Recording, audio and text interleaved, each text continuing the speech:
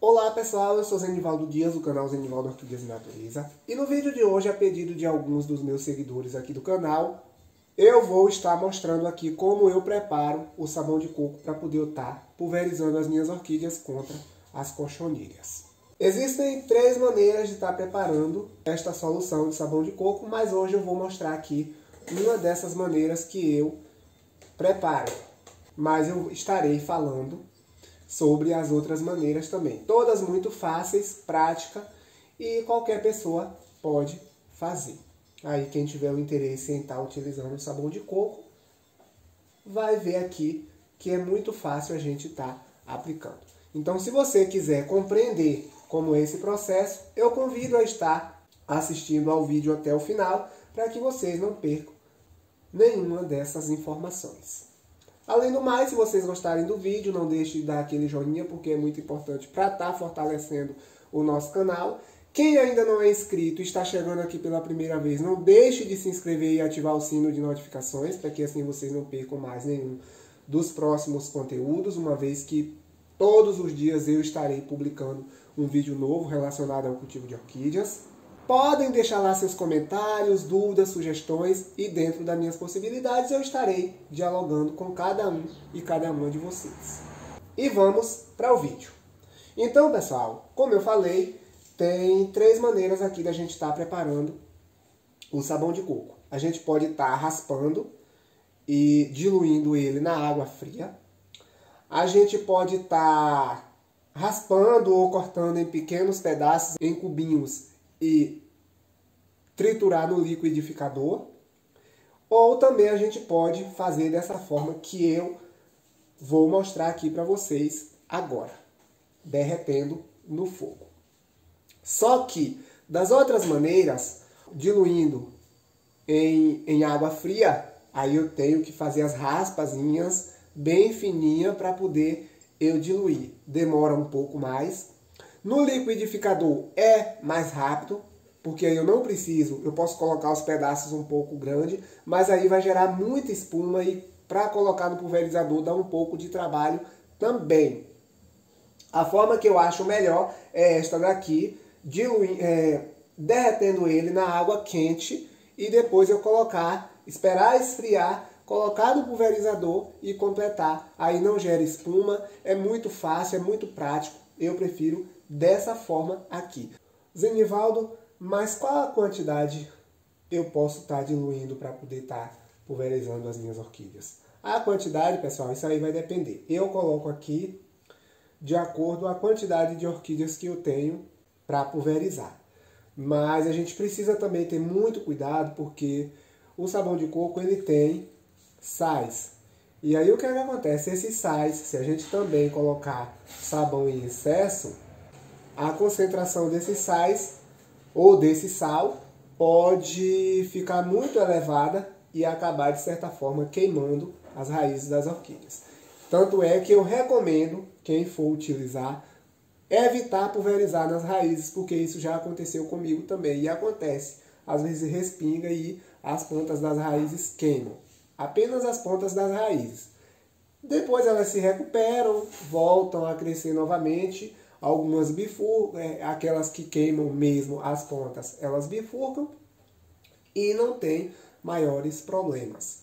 Porque eu prefiro a, a, a queima das pontas das raízes pelo sabão de coco do que o ataque de cochonilhas, porque as cochonilhas, quando elas começam a atacar mesmo, elas sugam a seiva da, da, da, da orquídea mancham as folhas, mancham os pseudobulbos, matam as gemas de brotação e tudo isso. Então eu prefiro estar tá utilizando o sabão de coco do que ter ataques de cochonilhas.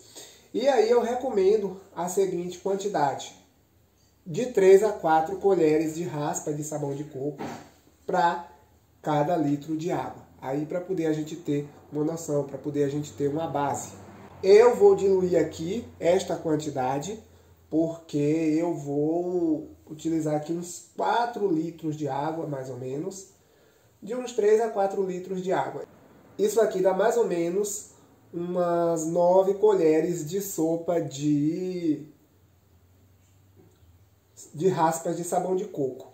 Porque isso aqui quando a gente raspa, pessoal, esse pedaço aqui quando a gente quando a gente raspa, ele meio que rende bastante. E não é aquela colher de sopa cheia, é aquela colher de sopa rasa. E aí, aqui nesse caso a gente já pode colocar, é, é, eu posso colocar direto. Eu corto aqui em cubinhos e eu coloco. Mas aí se você não tem noção, você pode estar tá fazendo as raspas e medindo. Mas isso tudo aqui é questão de prática, pessoal. Aí aqui eu coloco os cubinhos. Depois eu ligo o fogo. Pode ser fogo alto mesmo, porque aí anda mais rápido. E aí vai derreter esse sabão de coco. Prontinho. Aqui agora eu ligo o fogão.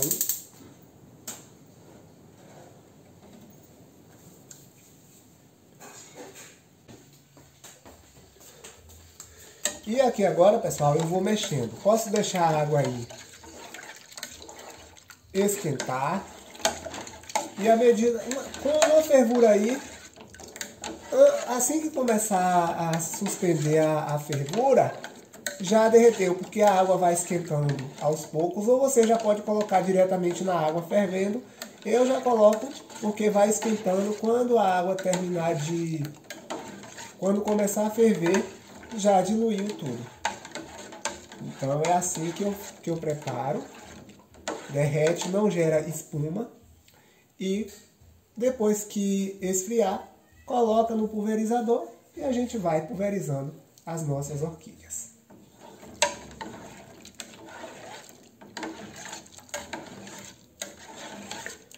Lembrando, pessoal, eu sempre falo, o sabão de coco não é para poder eliminar completamente as cochonilhas.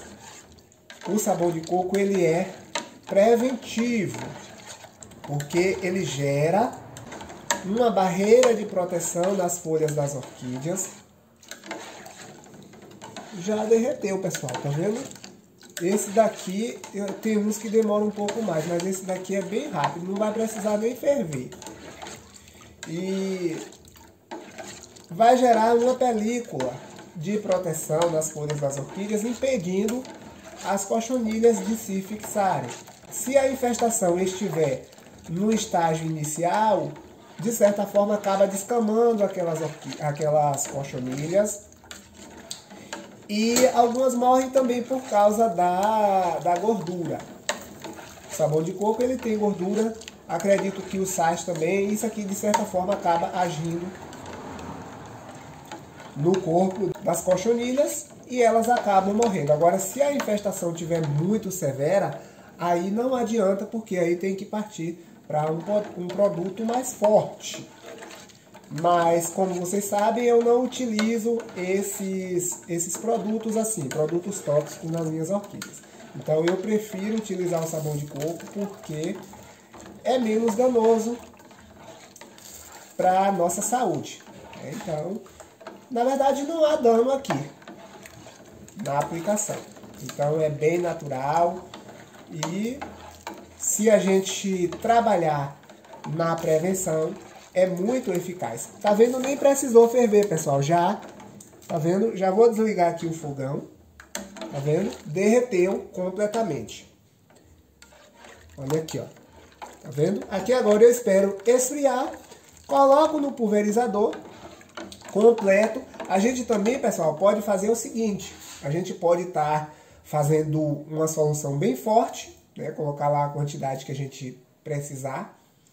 E pode é, é, ela pode ficar assim até alguns dias, uma semana. Eu, eu costumo deixar até uma semana e na, na já diluído. E aí eu vou acrescentando. Aí a gente pode colocar se tiver, porque isso aí vai depender da concentração. A gente só não pode deixar muito forte. Começou a gerar espuma,